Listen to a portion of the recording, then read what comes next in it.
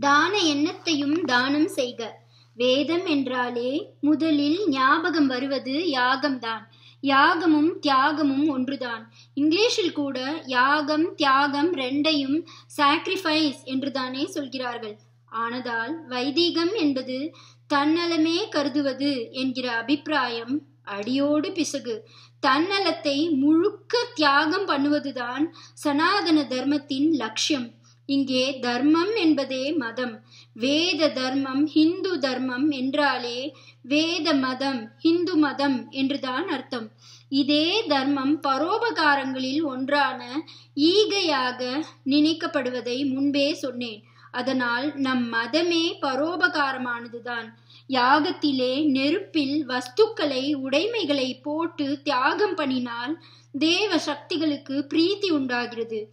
அவர்கள் லோகத்துக்கு மழை சுபிக்ஷம் நல்ல எண்ணம் எல்லாவற்றையும் அனுகிரகம் பண்ணுகிறார்கள். ஒருவன் தன் உடைமையை வேள்வி தீயில் தியாகம் பண்ணி இப்படி லோக க்ஷேமத்தை செய்ய வேண்டும். சொத்து சுதந்திரங்களை நாமே வைத்துக்கொண்டு அனுபவிப்பதில் பெறுகிற சுகம் ரொம்பவும் தற்காலிகமானது இந்த தற்காலிக சுகம் நித்திய சௌக்கியமான ஆத்மாபிவிருத்திக்கு ஹானியாகவும் ஆகிறது.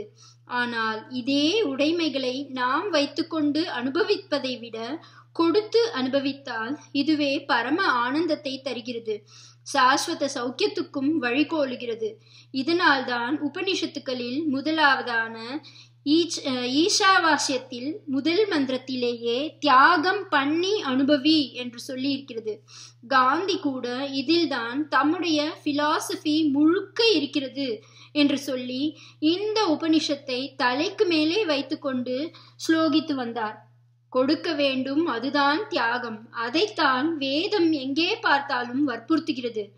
எந்த கர்மாவும் செய்து முடிக்கும் போது நான் தான் கர்த்தா என்பதால் இதன் பிரயோஜனம் முழுதும் எனக்கே வந்துவிடப் போகிறதே.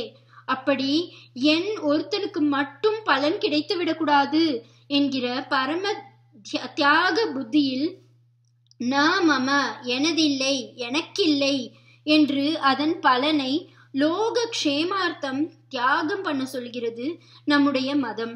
மற்ற வஸ்துக்களை கொடுத்துவிட்டு நான் கொடுத்தேன் என்ற எண்ணத்தை மட்டும் வைத்துக்கொண்டே இருந்தால் இந்த அகங்காரமானது தியாகத்தாலும் தானத்தாலும் கிடைக்கிற ஆத்ம அபிவிருத்தியை அப்படியே ஏப்பம் விட்டுவிடும். தியாகம் பண்ண வேண்டும். அதைவிட முக்கியமாக தியாகம் பண்ணினேன் என்ற எண்ணத்தையும் தியாகம் பண்ணிவிட வேண்டும். மகாபலி நிறைய கொடுத்தான். வாரி வாரி கொடுத்தான். ஆனால் தான் கொடுக்கிறோம் என்ற அகங்காரத்தை அவன் பகவானுக்கு பலி கொடுக்கவில்லை.